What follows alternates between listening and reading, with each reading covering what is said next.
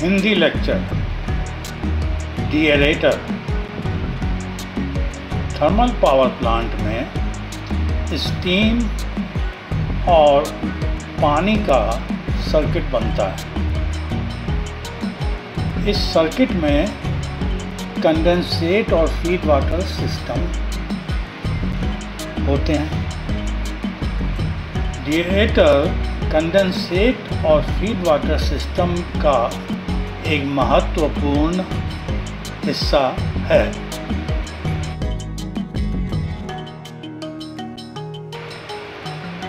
Steam and water circuits जैसा कि इस चित्र में बताया है स्टीम और वाटर ये दोनों एक क्लोज लूप बना रहे हैं। स्टीम जो है, वो कंडेंसर में कंडेंस होती है और पानी बन जाती है।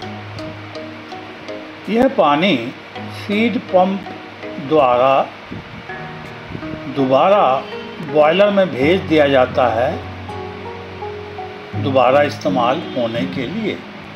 इस तरह से एक क्लोज सर्किट लूप बन रहा है।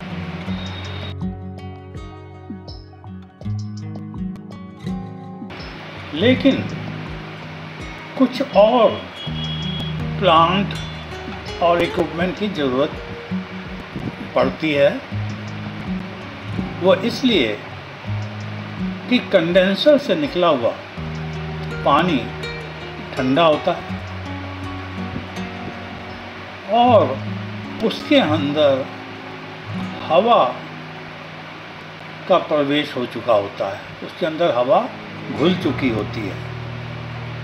इस हवा को पानी के अंदर से बाहर निकालना बहुत ज़रूरी है। अनुरोध। ये उम्मीद की जाती है कि यह लेक्चर आपके लिए उपयोगी साबित होगा। कृपया लाइक बटन को प्रेस करें। कृपया इस चैनल को सब्सक्राइब करें। This lecture is available in English language also आखिर, हवा जो है, वो पानी में कैसे प्रवेश पा जाती है और घुल जाती है? इसकी वजह है, जब प्लांट को स्टार्टअप किया जाता है तो उस टाइम जितने भी कंटेनर्स वेसल्स हैं, सब खाली होते हैं। उनमें हवा होती है, बाद में उसमें पानी लिया जाता है। तो उस वजह से हवा का प्रवेश हो जाता है पानी के अंदर। दूसरा ये है कि जो सिस्टम वैक्यूम में काम कर रहे हैं, जैसा कि कंडेंसर एक्सट्रैक्शन पंप हैं और लो प्रेशर फ़ीड हीटर्स हैं। इनमें वैक्यूम होता है, जिसकी वजह से एटमॉस्फेयर की हवा जो है सिस्टम में प्रवेश पा जाती है।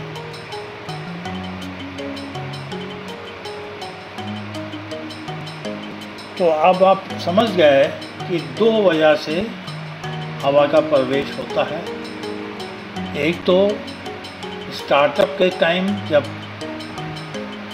जितने भी कंटेनर्स वेसल्स हैं, सब खाली होते हैं। दूसरा, जहाँ जहाँ वैक्यूम होता है एटमॉस्फेयर की हवा खींच करके पानी तक पहुँच जाती है।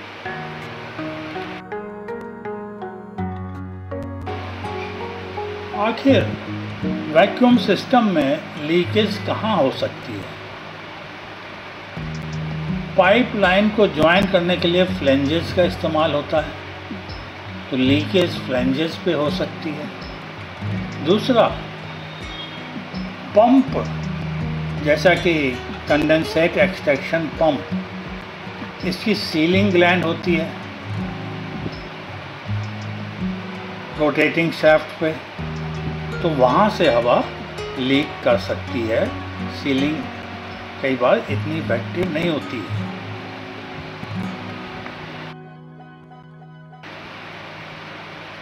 हम जानते हैं कि ठंडे पानी में हवा की घुलनशीलता बढ़ जाती है।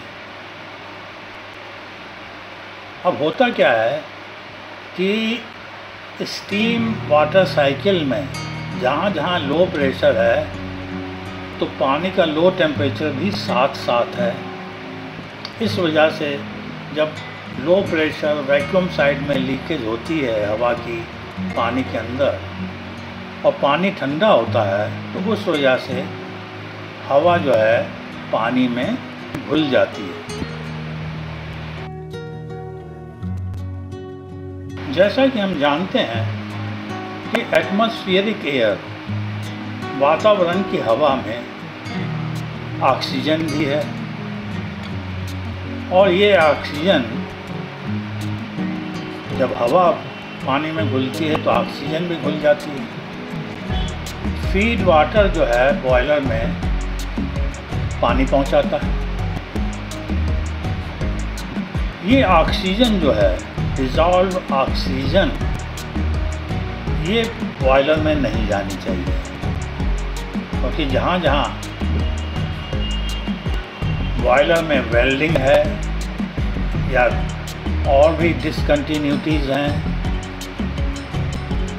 वहाँ वहाँ जो ऑक्सीजन है, वो करोजन पैदा करेगी। इसलिए बहुत ज़रूरी है कि ऑक्सीजन को बॉयलर में जाने वाले पानी से हटाया जाए।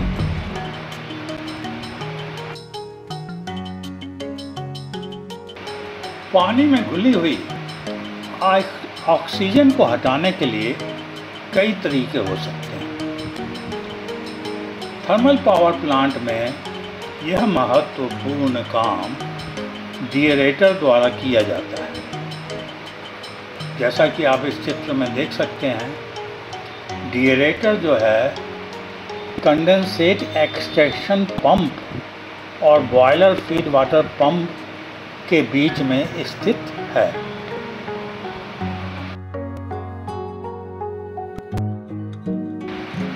इस चित्र में हमने जियरेटर का अंदरूनी हिस्सा स्कीमेटिकली दिखाया है। इसमें आप देख सकते हैं कि तीन रास्ते बने हुए हैं। एक रास्ते से पानी डिएरेटर में आ रहा है, स्प्रे हो रहा है। दूसरे रास्ते से स्टीम जा रही है, जो स्प्रे होते हुए पानी को गर्म करती है। और इस गर्म करने की वजह से पानी का अंदर घुली हुई ऑक्सीजन बाहर निकल जाती है, जो वेंट से निकास हो जाता है जिसका। तो डिजॉल्व ऑक्सीजन को बाहर निकालने के लिए निकास मार्ग बना हुआ है, वेंट बना हुआ है। और जिस पानी से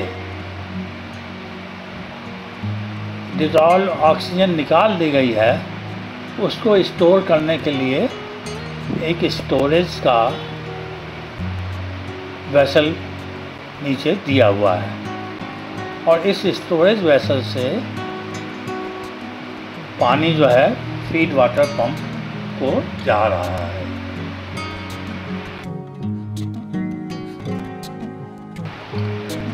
डिएरेटर में पानी की डिजॉल्व ऑक्सीजन और दूसरी गैसेस निकालने के लिए पानी को बॉईल किया जाता है और उसमें काफ़ी उथल पथल उथल पुथल मचाई जाती है ताकि उसमें घुली हुई गैसेस बाहर निकल जाएँ। इस प्रोसेस को स्ट्रिपिंग बोलते हैं। रेटर कई तरह के हो सकते हैं। जो हमने अटैच फिगर में ये रेटर दिखाया है, उसमें पानी ऊपर से प्रवेश कर रहा है और उसको स्टीम के साथ मिक्स किया जाता है, जो ऊपर की तरफ़ जा रही है। पानी नीचे की तरफ़ जा रहा है और स्टीम ऊपर की तरफ़ जा रही है।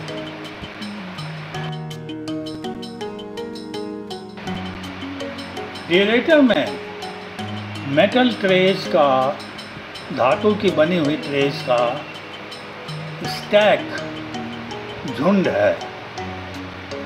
स्टीम इस मेटल ट्रे के झुंड को गर्म करती है। ऊपर से पानी आता है तो पानी और स्टीम आपस में इस तरह से मिक्सअप होते हैं और पानी में उथल पुथल हो जाती है। जिसकी वजह से पानी के अंदर घुली हुई गैसेस रिलीज़ हो जाती हैं और ऊपर की तरफ़ जाती हैं।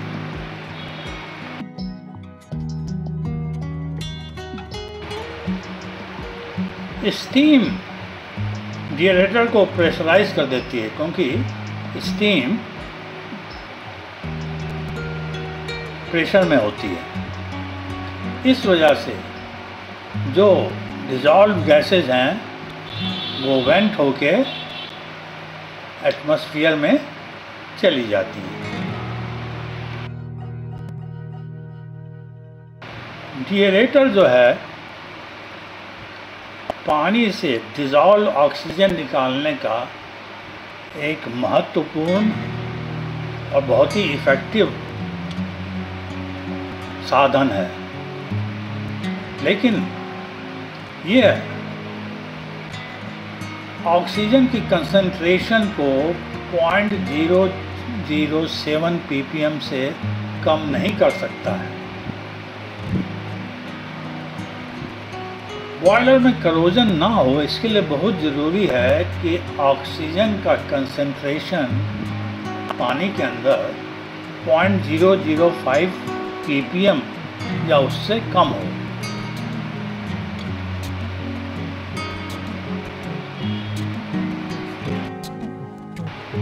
इस वजह से जीरेटर के अलावा हमें डिजॉल्व ऑक्सीजन को कम करने के लिए कुछ और साधन भी इस्तेमाल करने पड़ते हैं। डिजॉल्व ऑक्सीजन को फर्दर कम करने के लिए और कम करने के लिए स्केवेंजिंग केमिकल का इस्तेमाल किया जाता है। स्केवेंजिंग केमिकल के बारे में हम किसी और लेक्चर में बात करेंगे।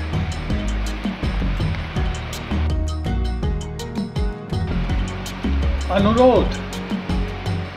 ये उम्मीद की जाती है कि यह लेक्चर आपके लिए उपयोगी साबित हुआ। कृपया लाइक बटन को प्रेस करें। कृपया इस चैनल को सब्सक्राइब करें। This lecture is available in English language also